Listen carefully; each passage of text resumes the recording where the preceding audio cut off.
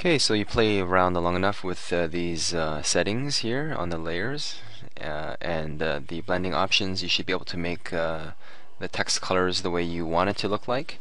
Now let's go back to Flash and let's look at their example here.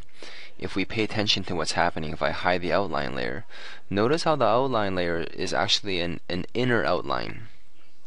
So here if I if I hide and show it, it's the inner inner layer that's being toggled on and off. So let me hide the uh, logo layer. The logo layer itself is just the whole thing, including all the outer glow and all that stuff. But the but the uh, outline layer is just the inside part, and it's a soft gray line.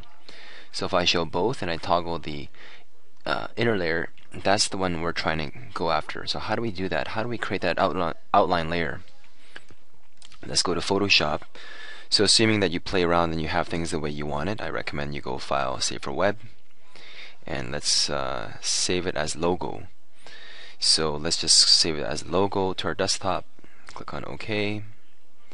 And now the challenge is to get the inner um, an inner glow uh, starting uh, with uh, these letters here. So how do we do that? Well, let's try uh, to remove all the special effects first of all. So double click it and let's uh, unclick all these little checkboxes. So now we have a uh, simple white uh, text. Uh, you might want to show that background color so that we can see what we're doing. Click on the, double click the other layer and do the same if you have uh, two pieces of text like I do. But of course you might just have one word as well click on OK. And now we press um, control click on uh, this layer as well as if I press control click on the other layer we're only selecting one of these words. So if you're like me where you have two two lines of words you might want to try holding down control and shift and then click the other one.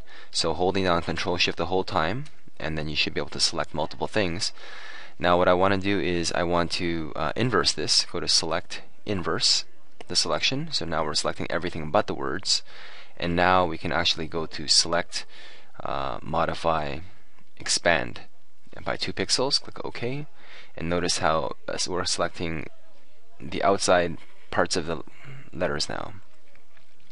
So if I go to edit uh, copy, uh, let me just uh, hide this layer here uh, the background layer I'll just go edit copy merge just make sure I got all the layers that I want. And then just go file new uh, file new and make sure you choose a transparent background.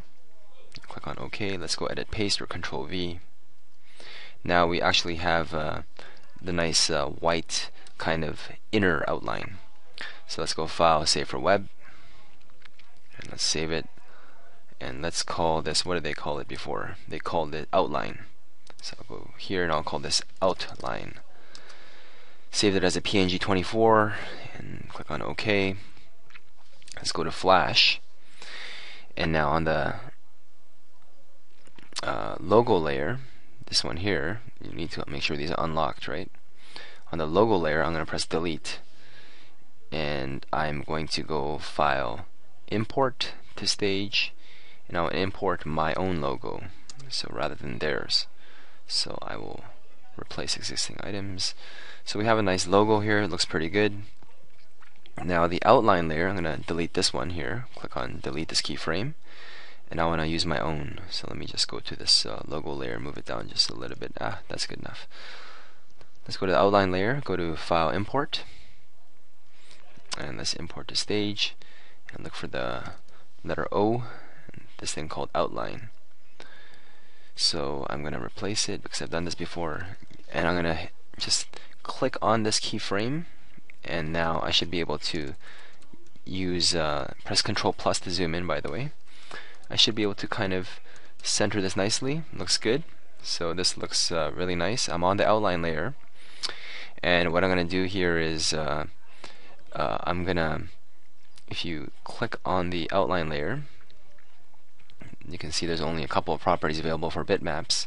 So to have more power I'm gonna right click so I'm, I'm still on the outline layer by the way. Convert to symbol and I will just click on OK. This is a movie clip.